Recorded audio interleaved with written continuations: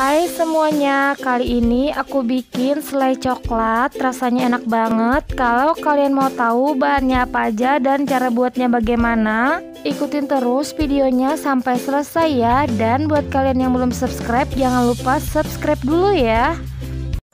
Bahannya aku pakai 67 gram gula pasir 60 gram tepung terigu 1 saset susu kental manis coklat 1 saset susu Milo bubuk, 1 piece vanili bubuk, 18 gram coklat bubuk, 25 gram margarin, dan 250 ml air.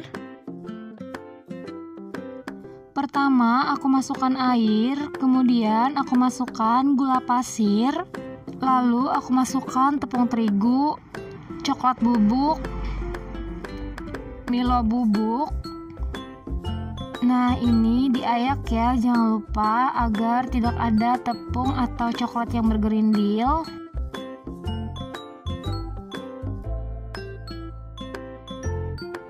Kemudian masukkan vanili bubuk dan masukkan juga susu kental manis coklat.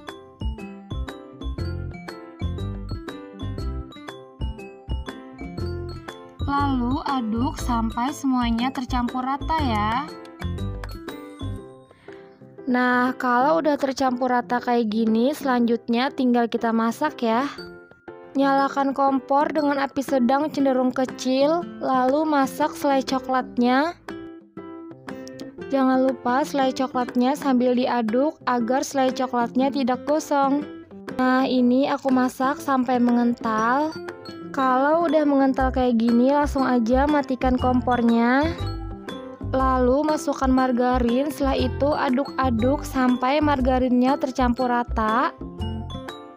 Oh ya, kalau kalian mau teksturnya lebih cair, kalian bisa kurangin takaran tepungnya aja. Nah, untuk takaran sendoknya bakalan aku tulis di description box, jadi kalian tinggal cek aja.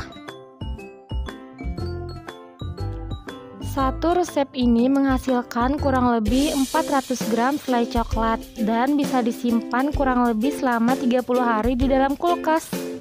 Buat kalian yang suka sama video ini, jangan lupa like dan jangan lupa juga subscribe buat kalian yang belum subscribe ya. Makasih.